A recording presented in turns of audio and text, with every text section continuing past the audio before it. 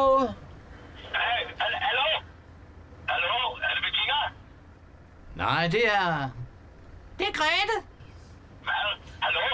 Det er Bettinas telefon. Den sidder i den bil, jeg kører i lige nu. Hvorfor fanden kører du i Bettinas bil? Har du stjålet den? Jeg er mekaniker, og jeg prøvekører. Ja, da jeg kørte med Bettina forleden dag, der var sgu ikke noget i vejen. Kan jeg ikke få lov til at snakke med Bettina? Nej, det kan du ikke, for hun sidder om på bagsædet sammen med to flotte fyre. Hun er ved at dø af grin. Idiot.